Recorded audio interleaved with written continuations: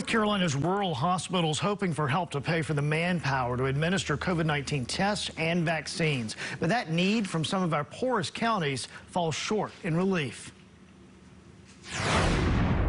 Amended is passed. There was hope that the latest federal stimulus bill would provide reimbursement for the hours that rural hospitals have spent not on the floor of the sick, but testing for the coronavirus and giving out vaccines. There are some good things in there for our rural communities. Uh, so the better unemployment for our, our patients, extended COBRA benefits for those who may have lost their job under the pandemic.